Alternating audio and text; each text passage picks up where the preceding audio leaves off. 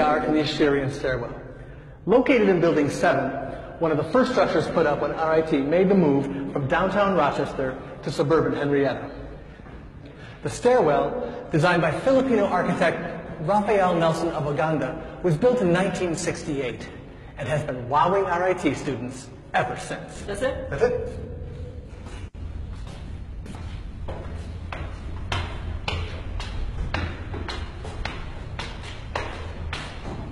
Just keep walking. The top.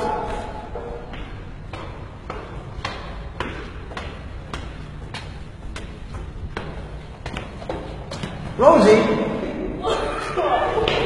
what are you doing here?